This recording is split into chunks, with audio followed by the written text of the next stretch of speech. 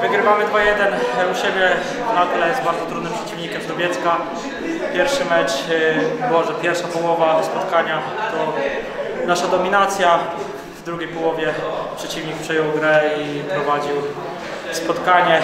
Udało mu się tylko jedną bramkę zdobyć. Y, Szczęśliwie wygrywamy w bardzo trudnych warunkach atmosferycznych, ponieważ wiatr nie sprzyjał, jak i dla jednych, tak i dla drugich. E, Dziękuję wszystkim kibicom, zawodnikom oraz e, wszystkim, którzy dzisiejszy mecz oglądali. Dziękuję również tutaj e, Sebastianowi za nakręcenie tego meczu i liczymy na kolejne trzy punkty e, w następnych spotkaniach. Dzięki. Proszę ocenić mecz y, Nakło Dubiecko. Jak pan ocenia spotkanie? Jeśli chodzi o mecz, to wyszedł bardzo dobrze, pozytywnie. Tam miałem też parę sytuacji, które się nie wykorzystały przez to, że piłka skoczyła. I jakoś tam, tam ze Sośnicą zremisowaliśmy tamtejszy mecz i to było na nasz niekorzyść.